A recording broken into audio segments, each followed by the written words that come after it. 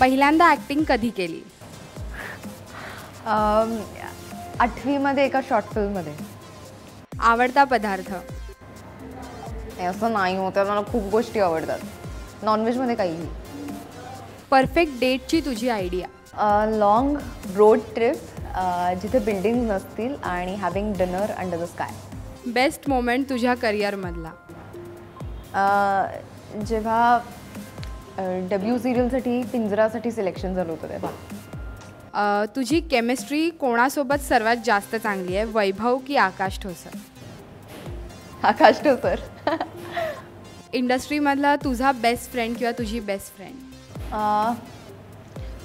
तीन जणांचं नाव घ्यायचं आहे एक नेहा पेंडसे श्रुती मराठी आणि भूषण प्रधान. मराठी इंडस्ट्रीमधला एक ॲक्टर जो तुझ्या मते बेस्ट डान्सर आहे?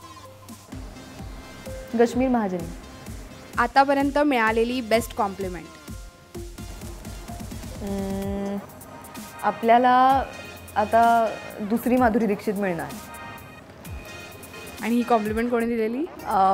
पुण्यात आम्ही एका प्रमोशनल इव्हेंटसाठी गेलो होतो आणि आम्ही स्टेजवर बोललो बोललो बोललो मी खाली आले आणि असे फॅन्स बोलत असतात तेव्हा एक माणूस मला पटकन म्हणाला होता की मॅडम तुम्हाला मला सांगायचं मला तुमचा डान्स आवडतो आणि असं सगळं. आणि असं काही म्हणायला हरकत नाही की ते की आता आपल्याला पुण्याहून दुसरी माधुरी मिळणार. सो शाळेत शिक्षा झालेली तो एक क्षण. बाहेर उभं गेलो होतं क्लासच्या आणि तेव्हा मी दहावीत होते. म्हणजे लहानही नव्हते. मला दहावीत क्लासच्या बाहेर उभं गेलो होतं कारण का मी एक्झामिनेशन हॉलमध्ये हसत होते. न आवडणारा खेळ कोणता? न आवडणारा खेळ असा स्पेसिफिक कोणताच नाही आहे कारण का अम, तरी सांगायचं म्हणलं तरी खूप ऑब्विस न आवडणारा नाही आहे पण मी खूप बोर झाली होते क्रिकेटला. आय एम सॉरी पण क्रिकेट.